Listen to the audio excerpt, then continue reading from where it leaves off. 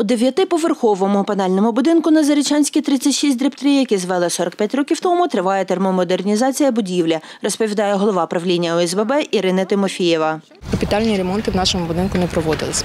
Коли ми створили ОСББ, ми знали, що є така програма Державної установи фонду енергоефективності Енергодім. Е, Завдяки цій програмі можна повністю капітально зробити роботи в будинку. Для того, щоб вступити е, в цю програму, потрібна е, згода більшості співвласників, дві треті. За її словами, подали документи на участь у програмі у 2020 році. До 2022 року виготовляла проєктно-кошторисну документацію, проводили експертизи. Бюрократія каже, це мінус. Відремонтований і утеплений будинок плюс. Роботи розпочали торік у вересні. В червні цього року взяли за утеплення фасаду. Капітально замінили труби опалення, встановили гідробалансуючі е, балансіри на стояках опалення, е, обладнали, встановили індивідуальний тепловий пункт е, в підвалі, замінили вікна і двері в місцях загального користування. Термомодернізація будівель за програмою Енергодім нині триває у двох хмельницьких багатоповерхівках, де створена ОСББ, каже заступник Хмельницького міського голови Василь Новачук. За його словами, з 2016 року в обласному центрі в межах різних програм і співфінансування утеплили та термомодернізували понад 20 будинків.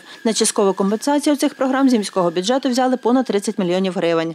Попередніх два будинка по енергодому завершили перед великою війною. В час великої війни роблять зараз тільки цих два будинки. До того утеплялися будинки інші, але утеплялися не по програмі енергодім. І відповідно е, утеплення не було настільки комплексним. Після таких робіт е, з модернізації будинок е, споживає удвічі менше тепла ніж споживав до того. За словами Василя Новачка, за роботи з термомодернізації мешканці будинку сплачують 10% від вартості, 20% компенсують з міського бюджету, 70% з фонду енергоефективності. Кожен етап робіт розраховується окремо, каже Ірина Тимофієва. З її слів, для мешканців їхня частка може розбиватися на рік. Наприклад, за інженерію, тобто заміну е, системи е, опалення, встановлення ІТП, мешканці платили 52 гривні з квадратного метра.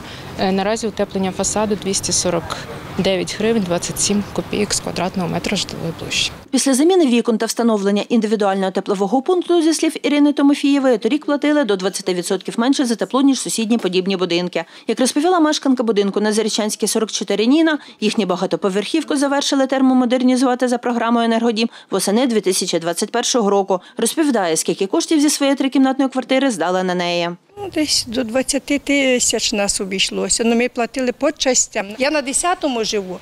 Раніше, наскільки було в мене холодно в квартирі, настільки я зараз задоволена. Після термомодернізації будинку рахунки за тепло зменшились на 40-45%, розповідає голова ОСББ на Зарічанській 44 Олег Яровий. Роботи з квартири з квадратного метра в нас були вийшли на 275 гривень. На умовах такої суми ми за 4-5 років е, це все окупимо. Голова правління Хмельницького енергетичного кластеру Степан Кушнір порівнює теплоенергетику України з дірявим відром, яке наповнюють у криниці повним, а поки доходять до будинку, залишається половина.